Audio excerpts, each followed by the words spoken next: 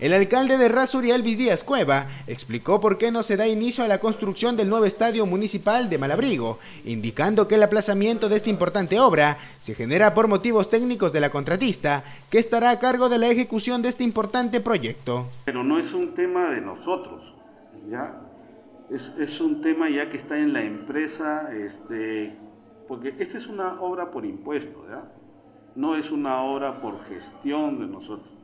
Entonces, al ser obra por impuesto, ya este, hay, hay todo un marco. Y no olvidemos que cuando sobrepasan los 5 millones de soles, ya necesita una inspección o una supervisión concurrente de Contraloría y de la Fiscalía de la Nación.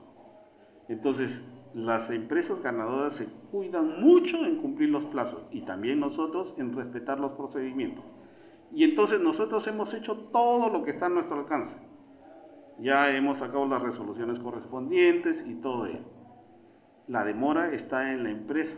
Por ejemplo, ¿qué, ¿cuál es el problema ahorita? La carta fianza. Y no presentan la carta fianza. Y nosotros no queremos ir más allá. El procedimiento nos dice que si no tienen una carta fianza, pues no pueden comenzar o iniciar sus, sus trabajos. Le repito, la Contraloría, y la Fiscalía están haciendo una inspección como manda la ley concurrente. Casualmente por eso es que se asigna una pequeña parte del presupuesto a garantizar el trabajo que tienen que hacer estas dos entidades que les estoy mencionando. Y entonces, eh, es, anhelo, sí es anhelo de todos, y, me incluyo, yo que más quisiera que estén de una vez los trabajos. Yo, yo soy una de las personas más, más apresuradas. ¿Por qué? Mire, estamos en una coyuntura especial. La emergencia climática a través de las lluvias no solamente este, ha afectado en términos de volúmenes de agua que han caído, ¿no? No, solamente podemos medirlos en, en, mililitros, en centímetros cúbicos, porque eso ya, digamos, que ha mainado. Pero y el efecto de la temperatura, por ejemplo, yo le había señalado ahí de las 200 millas hacia la zona intermareal, que es el mar de Grado.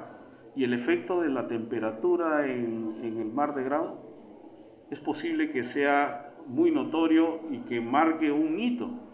La crisis que está entrando el sector pesquero industrial, incluso nuestros compañeros de los sindicatos, los, los compañeros de los trabajadores y los no afiliados a los sindicatos, eh, la gran mayoría de empresas los ha mandado descansar. Y digo descansar entre comillas, ¿no? Eh, y entonces se avecina un, ojalá, Dios no quiera, eh, una no o casi nula participación de la pesca industrial en este primer semestre. Y entonces estoy muy apurado para ver si generamos trabajo ¿no? a través de de esta, esta gran obra y nosotros ya también lo estamos haciendo en otras obras este, pequeñas, como ya ha podido ver seguramente en la Plaza de Armas, abajo en, en el tema del este, Parque del Niño. Este, estamos dando mucho trabajo y estamos haciendo ahorita un shock de pequeñas obras de mantenimiento para contribuir en algo.